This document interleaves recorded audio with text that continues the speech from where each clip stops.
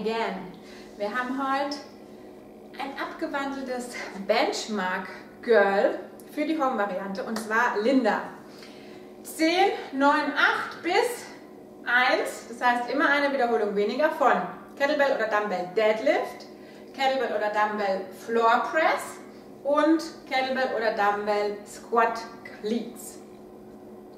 Schon mal vorab, ist euer Gewicht relativ leicht für zu Hause, dann gerne die Reps einmal verdoppeln, sodass ihr auch ein bisschen was von dem Workout habt. Wir gehen gleich rein ins Warm-up. Ihr startet mit 40 Kickbacks, das heißt einmal entweder gestiegen, nach hinten, einmal aufstehen oder gerne auch mit beiden Füßen gleichzeitig nach hinten und wieder einmal aufstehen. 40 Wiederholungen direkt zum Start und dann 20 Jumping Jacks, das heißt einmal Hände über Kopf und Füße auseinander, das kennt ihr, 20 Stück und danach 20 mal Crazy Finish Drill. Das bedeutet, ihr geht in einen Vierfüßlerstand. Gerne auch wieder hier die Füße aufsetzen und jetzt geht es darum, einmal rechte Hand, linker Fuß heben und gleiches auf der anderen Seite und das Ganze irgendwann so schnell wie möglich für 20 Wiederholungen.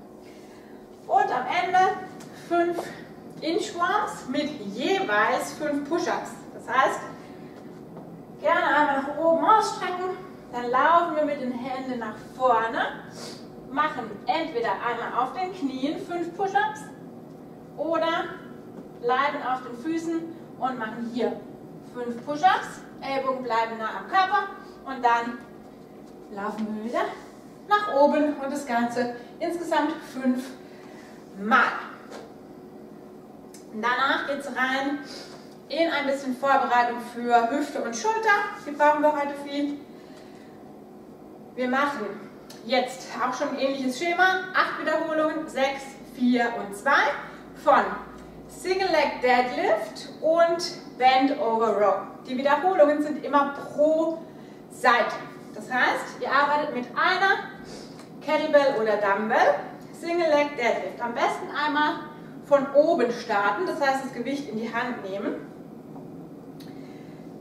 Wenn ich jetzt den linken Fuß am Boden lasse, rechter Fuß geht nach hinten, dann ist das Gewicht auf der rechten Seite. Gern den anderen Arm an die Seite mitnehmen, sodass der Oberkörper möglichst gerade nach unten geht. Das heißt jetzt einmal Fuß weg vom Boden, Hip Hinge und Kettlebell oder Dumbbell geht bis zum Boden und wir stehen damit wieder auf. Wie beim Deadlift, Blick geradeaus und wenn es nach unten geht, Blick zum Boden nach vorne. Einmal von der Seite.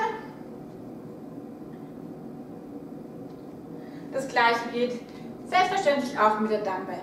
Also, ihr startet mit 8 Wiederholungen hier pro Arm. Und dann Bend over Row, auch einarmig. 8 Wiederholungen pro Seite am Anfang. Hier jetzt hüftbreiter Stand. Hier Pitch nach hinten. Und auch da das gleiche wie vorher. Andere Hand gerne mit nach unten nehmen. Und jetzt ziehen wir hier einmal aus der Schulter. Schulterblatt nach hinten zusammenziehen. Und hier 8 Wiederholungen pro Seite.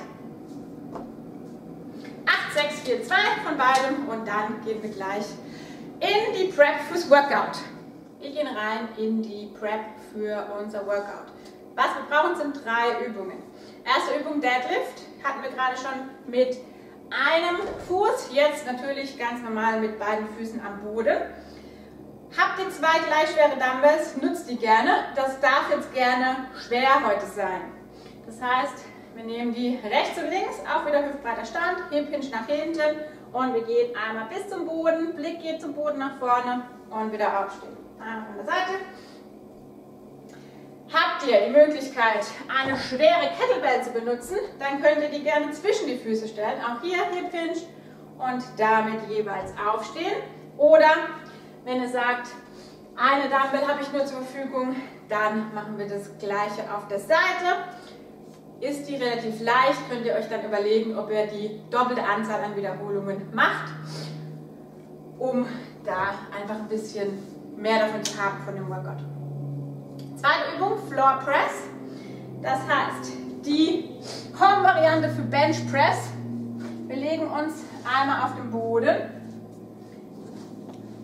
holen unser Gewicht einmal mit dem Kuscheln nach oben, gerne die Füße aufstellen und jetzt geht es darum, einmal die Dumbbell komplett ausgelockt, Ellbogen Richtung Decke nach oben schieben. Ihr könnt sowieso nur so weit runter, bis der Ellbogen wieder am Boden ist.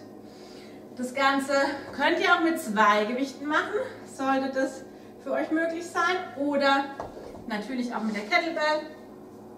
Da auch einmal auf die Schulter ablegen in dem Fall und dann nach oben raus drücken. Letzte Übung, Squat Clean. Wir starten einmal mit einem Hang Power Clean. Das heißt, jetzt wieder hüftbreiter Stand, Hip nach hinten, Blick nach vorne, andere Hand gerne ein kleines bisschen nach außen strecken, dann einmal Hüfte öffnen, ziehen und wir setzen uns einmal drunter. Gerne mal fünf Wiederholungen pro Seite machen und danach machen wir fünf Front Squats pro Seite, weil wir später in die Squat Cleans reingehen wollen. Das heißt, Ellbogen zeigt nach vorne und fünfmal pro Seite.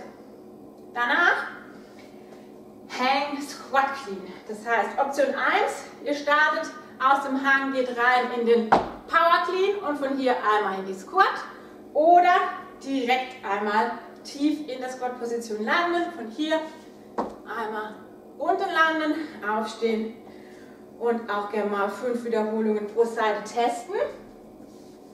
Fürs Workout ist die Variante vom Boden. Das heißt, da nehmen wir dann die Dumbbell in die Mitte, auch wieder Hip Hinge. Einmal direkt vom Boden, entweder in den Power Clean und Squat hinten dran oder auch gerne direkt vom Boden rein in einen Squat Clean.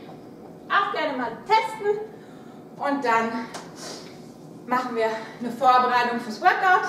Ihr macht 8, 6, 4 und 2 Wiederholungen von den drei Übungen Deadlift, Floor Press und Squat Cleans. Dabei gerne testen, wie schwer fühlt sich das Gewicht an und dann entscheiden, ob ihr die 10, 9, 8 bis 1 Variante macht oder ob ihr euch die Wiederholungen verdoppelt. Viel Spaß dabei mit unserer Home-Variante von Linda.